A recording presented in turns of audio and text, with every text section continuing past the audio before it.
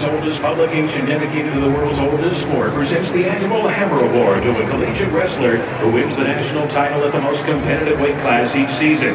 Sun Devil Wrestling's Zahid Valencia captured the 174-pound national title this past March in Pittsburgh, defeating 2017 NCAA champion Mark Hall in the finals. There were two former national champions competing within the 174 weight class, and a total of eight returning All-Americans. Amateur Wrestling News would like to present the 2019 Hammer Award to Devil Wrestling's Zahid Valencia.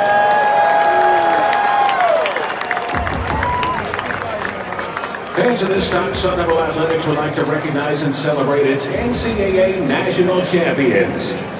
In dramatic fashion, three-time All-American Zahid Valencia won his second consecutive NCAA championship, defending his title from 2018. Once again, let's hear it for Zahid Valencia. For the